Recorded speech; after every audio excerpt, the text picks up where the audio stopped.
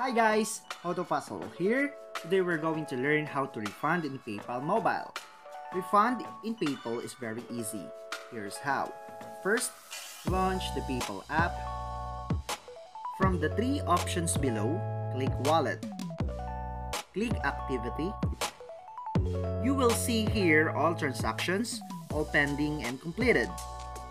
Click on successful transactions that you want to refund. For example, this one. Click Issue Refund. Now, review the refund information.